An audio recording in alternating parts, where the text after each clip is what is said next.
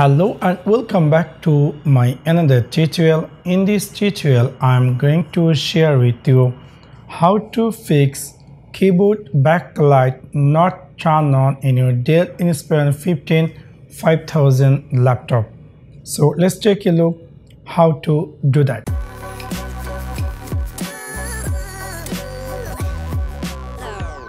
This is my Dell Inspiron 15 5000 laptop and you also might be have same laptop.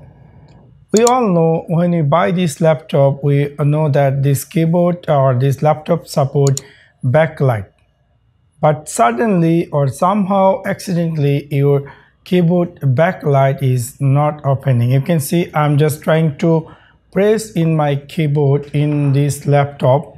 There is not appear any backlight so this is really very silly uh, mistake happened and that's why your uh, Dell laptop backlight is not opening.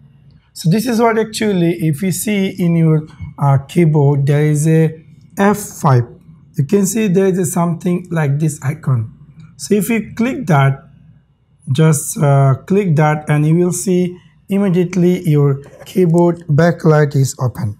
You can see my keyboard backlight is open. If I click here, that is going to be turned off. So by mistakenly, you might be uh, click in your Dell laptop this F5 key and it was automatically off and if you want to on so you need to uh, click again this F5 key to turn on backlight.